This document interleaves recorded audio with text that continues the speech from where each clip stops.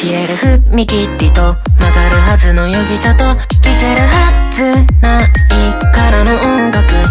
らり文字も踊り出す駅から今日は人が出てきたこうやってバカ騒ぎで分かったふりして何もしないあの日から止まるんだ